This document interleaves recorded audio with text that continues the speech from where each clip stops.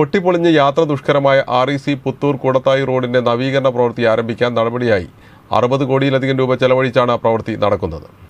R E C Puthur Koodathayi റോഡിന്റെ പുനരുദ്ധാരണ പ്രവൃത്തികൾക്കാണ് തുടക്കമാവുന്നത്. പ്രവൃത്തി ഉദ്ഘാടനത്തിന് മുമ്പുള്ള പ്രാരംഭ പ്രവർത്തനങ്ങൾ ഈ മാസം ഇരുപതിന് കൂടത്തായിൽ ആരംഭിക്കും.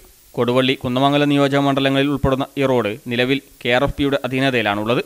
റോഡിന്റെ സിംഹഭാഗവും കൊടുവള്ളി നിയോജക മണ്ഡലത്തിലെ ഓമശ്ശേരി പഞ്ചായത്ത് പരിധിയിലാണ്. എൻ ഐ ടി മുതൽ കൂടത്തായി വരെ കിഫ്ബിയിൽ ഉൾപ്പെടുത്തി അറുപത് ദശാംശം ഏഴ് ഒൻപത് കോടി രൂപ ചെലവഴിച്ച് പുനരുദ്ധാരണ പ്രവർത്തനങ്ങൾ നടത്തുന്നതിനാണ് സർക്കാരിൽ നിന്നും ഭരണാനുമതിയും സാമ്പത്തികാനുമതിയും സാങ്കേതികാനുമതിയും ലഭിച്ചത്. രണ്ടായിരത്തി പതിനേഴിൽ ഭരണാനുമതിയും രണ്ടായിരത്തി പത്തൊൻപതിൽ സാമ്പത്തികാനുമതിയും ലഭിച്ചിരുന്നുവെങ്കിലും സാങ്കേതിക കുരുക്കും മറ്റും കാരണം പ്രവൃത്തി തുടങ്ങാനായില്ല. പതിനൊന്ന് ദശാംശം രണ്ട് കിലോമീറ്റർ ദൈർഘ്യമുള്ള റോഡിന്റെ പുനരുദ്ധാരണത്തിനായുള്ള കരാർ ഇപ്പോൾ ലഭിച്ചത് U L C C S എന്ന കമ്പനിക്കാണ്.